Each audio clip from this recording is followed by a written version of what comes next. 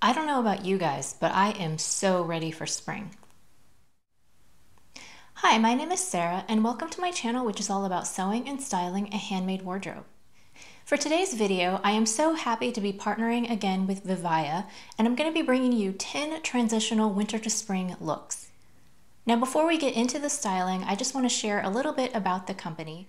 Vivaia is a shoe brand that focuses on sustainable materials. And they make their shoes out of things like recycled plastic bottles and other natural materials like hemp and cotton. A lot of their shoes are actually machine washable, and because they are fabric, they're really flexible and comfortable to wear.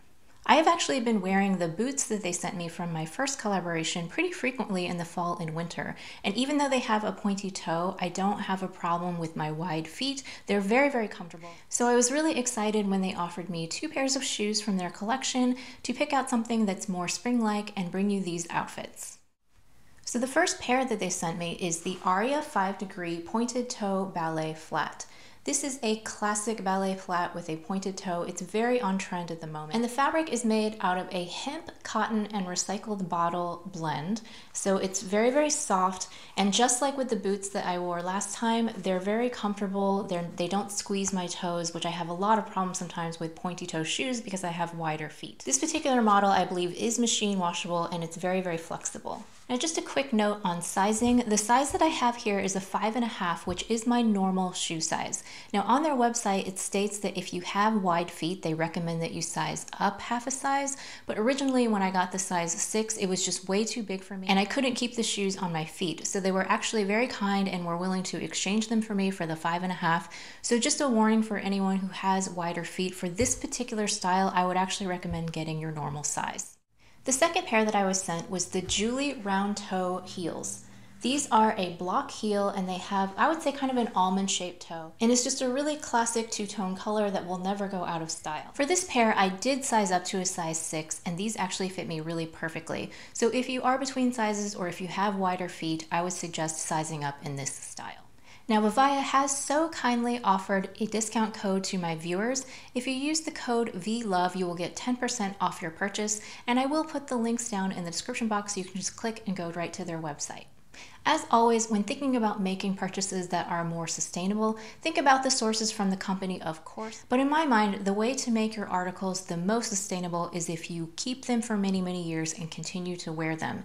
And for me personally, because these two shoes are such a classic style and they are so comfortable with the fabric uppers, I do think that they will last in my closet for many years. Now let's get right to the styling. Look number one is a classic combo of leggings paired with ballet flats. I'm wearing my Spanx faux leather leggings with the moto detailing, which I think just adds a little bit of a fun touch.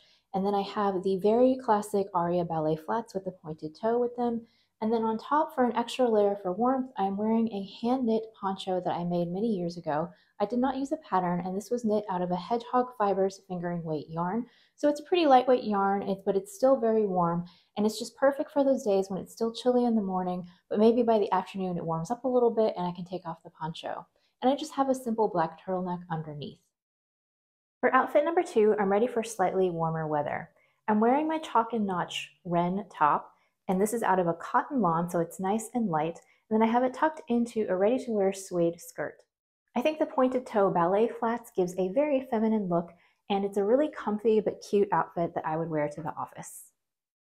One of the most current ways to wear ballet flats is with straight leg jeans.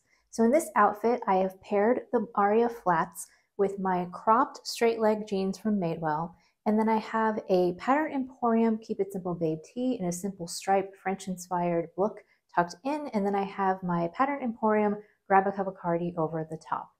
I really love how effortless this looks, and I enjoy wearing the red handbag. It just gives a little pop of color to the outfit.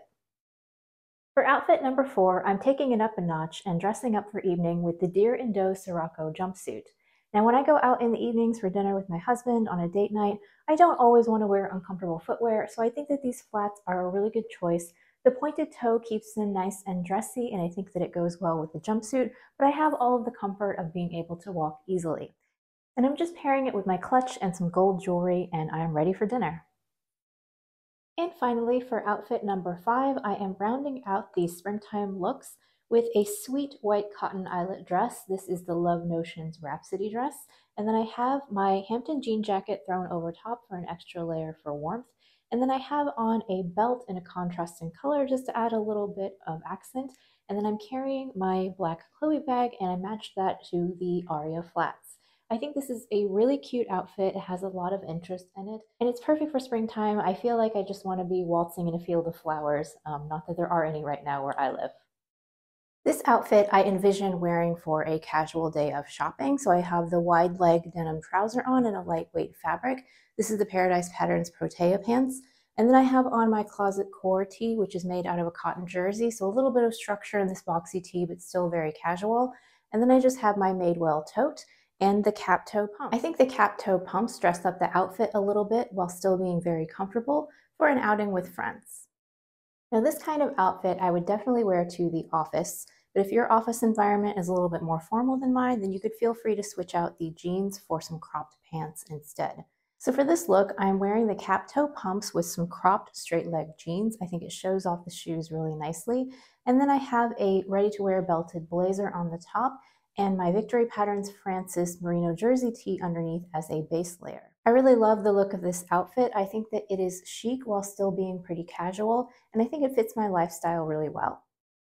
Now this outfit might be a little bit of a quirky combination, but I really like it. I paired a nice fitted v-neck sweater that I knit several years ago with a Simplicity midi skirt. And I think that this is a nice dressy outfit that you could wear for something like going to church or going out to brunch with friends or something along those lines. Maybe like a daytime date. And I just really like the way that the shoes look with the midi skirt. I think that it's a very classy look. I'm really finding that these cap toe pumps are just so versatile and you can throw them on with almost any look and it just dresses it up a little bit. So for this outfit, I wanted to wear kind of a long line duster-esque sort of cardigan and I have this fun leopard print. This is the Helen's Closet Blackwood cardigan.